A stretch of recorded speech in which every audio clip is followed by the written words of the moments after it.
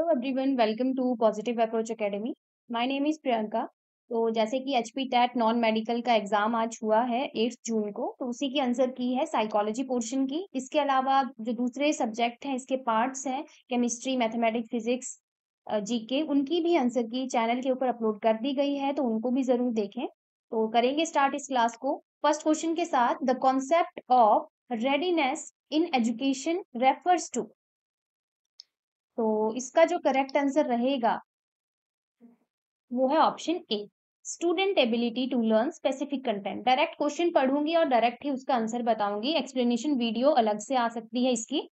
तो next question पे चलेंगे. Question number second which of the following best describe the learning by doing approach correct answer इसका रहेगा option A constructivism third question है what is the main focus of a constructivist classroom तो correct answer इसका है option B student centred learning बहुत ही easy question direct question आए हुए हैं एग्ज़ाम में और पढ़े भी हुए हैं हमने। फोर्थ क्वेश्चन पे चलेंगे in the context of assessment what does rubric refers to तो करेक्ट आंसर इसका है option B set of guideline for scoring student work but जहाँ तक इसका जो रूब्रिक टर्म है, इसका ऑप्शन सी भी निकल के आंसर आ रहा है कि a type of formative assessment ये एक टाइप ऑफ़ असेसमेंट भी है तो कहीं ना कहीं ऑप्शन बी और सी में जो है, इनमें से कोई एक आंसर हो सकता है, बाकी फाइनल जो करेक्ट आंसर रहेगा, वो तो फाइनल आंसर की से ही पता चलेगा तो हम इन दोनों को मान के चलेंगे, इनमें से कोई भी ठीक हो सकता है ऑप्शन फिफ्थ पे चलेंगे which of the following is an example of intrinsic motivation correct answer इसका है option B learning because of personal interest six question है which of the following is the principle of differentiated instruction correct answer इसका है option B tailoring instruction to meet individual learning needs. Next है, according to Kohlberg the highest stage of moral development is. तो इसमें भी देखो doubt है क्योंकि stage पूछा गया है तो हमें पता है स्टेजेस तो सिक्स थी। और ऑप्शन में देखो pre conventional conventional post conventional social contract morality बोला गया है।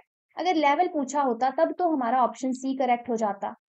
ठीक है? देन हमारा ऑप्शन सी करेक्ट होता बट स्टेज पूछा है और हाईएस्ट स्टेज हमें पता है यूनिवर्सल एथिकल प्रिंसिपल होती है तो वो ऑप्शन में नहीं है। यहाँ पे सोशल कॉन्ट्रैक्ट मॉरलिटी उससे फिफ्थ स्टेज जो रहती है, वो है। तो अब यहाँ पे भी डाउट रहता है कि ऑप्शन सी और डी में से कौन सा आंसर करेक्ट होगा। दोनों को मान के चलेंगे, बाकी फाइनल आंसर की से ही पता चलेगा कि ऑप्शन सी करेक्ट होगा या ऑप्शन डी करेक्ट होगा।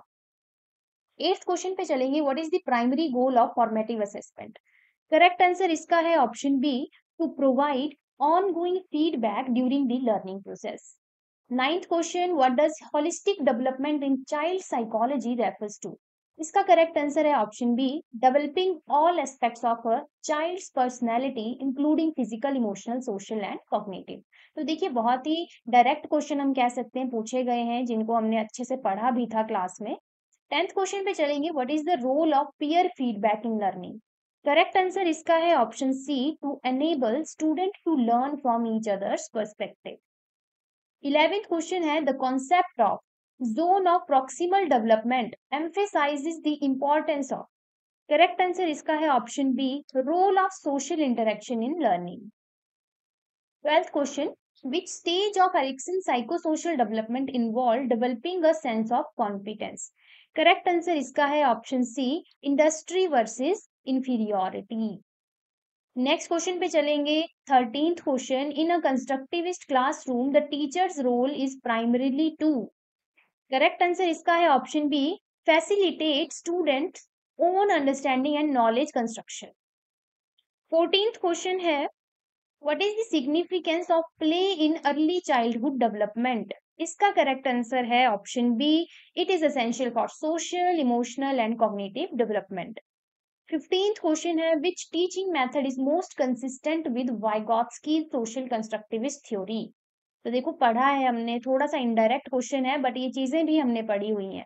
करेक्ट आंसर इसका रहेगा option B collaborative learning sixteenth question which learning style involve learning through physical activity तो देखिए, इसका जो करेक्ट आंसर रहेगा वो है option C kinesthetic then next आता है what is the primary purpose of summative assessment correct answer इसका है option B to measure student learning at the end of an instructional period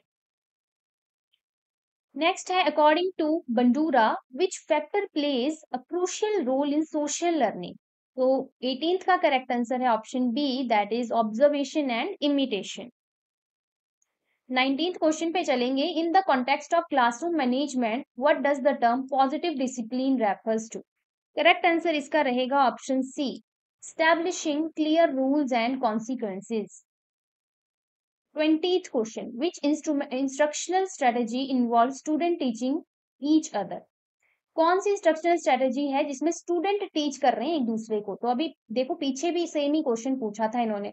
इसका करेक्ट आंसर है option A peer tutoring twenty का correct answer option A twenty first which stage of Piaget's cognitive development theory involve children understanding conservation correct answer इसका रहेगा option सी बहुत ही अच्छे से हमने प्याजे की थ्योरी भी पढ़ी थी तो मैंने कहा भी था इस थ्योरी से काफ़ी सारे क्वेश्चन आते हैं एग्ज़ाम में।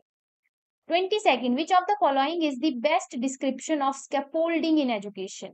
22nd का करेक्ट आंसर रहेगा option B offering support that is gradually removed as student become more competent temporary help जिसे कहते हैं। 23rd according to jean piaget which stage of cognitive development is characterized by ability to think logically about concrete event देखो दूसरा question gene पियाजे से तो correct answer इसका है 23 का option C concrete operational 24th question. In Vygotsky's theory, the term zone of proximal development refers to. Correct answer इसका है option A. The difference between what a learner can do without help and what they can do with. 25th. Which of the following is a key principle of child-centered education? 25th. Correct answer is option C. Children should be active participant in their own learning. Twenty six question what is the primary purpose of formative assessment in the classroom तो देखो formative और summative assessment तीन चार question आ गए इसी topic से और ट्वेंटी सिक्स की बात करें तो इसका करेक्ट आंसर है option B to diagnose learning difficulties and adjust teaching accordingly. 27th है which psychologist is best known for theory of multiple intelligence बहुत बार रिपीट हुआ था ये question 27th option B Howard Gardner 28th which of the following strategy is most effective for developing critical thinking in student it's correct answer is option B group discussion 29th. According to Erikson, the primary developmental task of adolescence is तो इसका correct answer है आपका option C developing sense of identity last question रहेगा psychology का thirtieth question which type of reinforcement is most effective for maintaining long term behaviour change in students correct answer इसका है option A that is positive reinforcement तो देखिए काफ़ी easy हम कह सकते हैं पेपर था क्योंकि डायरेक्ट क्वेश्चन पूछे गए हैं।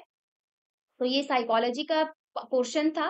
बाकी के जो पार्ट हैं केमिस्ट्री हो गया फिजिक्स हो गया मैथमेटिक्स हो गया जीके इनकी भी आंसर की अपलोड कर दी गई है हमारे चैनल पे तो ज़रूर विज़िट करें उसको भी। तो इतना ही करेंगे इस क्लास में। धन्यवाद।